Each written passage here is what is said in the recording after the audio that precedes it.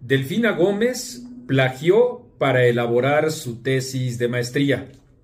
Mintió con una segunda maestría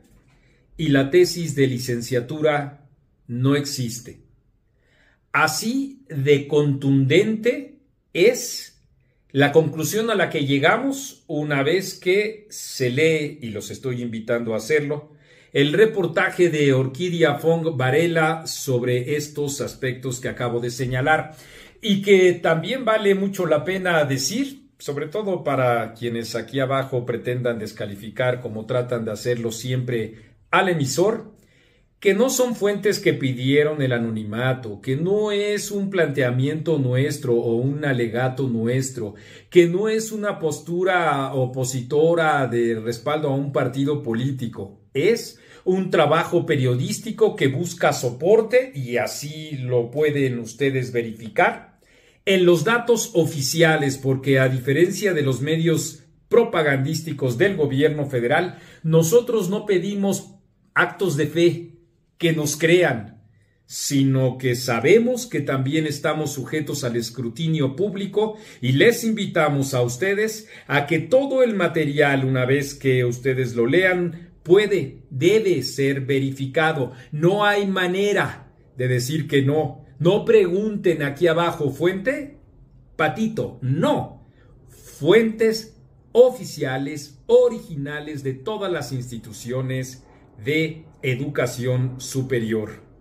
Por eso este es un llamado a tiempo, no me cabe la menor duda, para elegir en el Estado de México la mejor opción que es Alejandra del Moral, por lo que representa Delfina, porque este es solo un ejemplo de la falta de escrúpulos que ella tiene y una muestra más del desastre que sobrevendría en el Estado mexiquense si ella encabezara la administración pública. Y una antesala también de lo que sobrevendría en nuestro país en las elecciones de 2024. Por eso, por eso más allá de las delimitaciones que tenga Alejandra del Moral para enfrentar al populismo autoritario y su demagogia,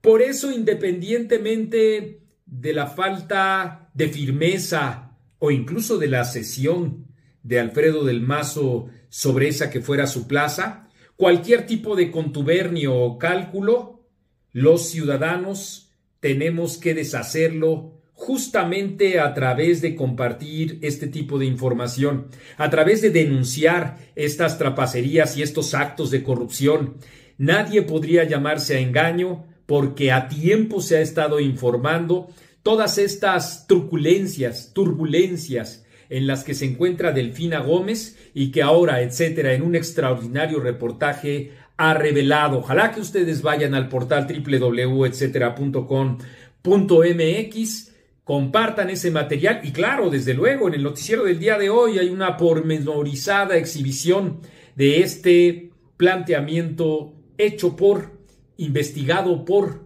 Orquídea Fong Varela en ese, que es el trabajo que nosotros a ustedes les hemos dicho durante nuestra trayectoria nos corresponde hacer.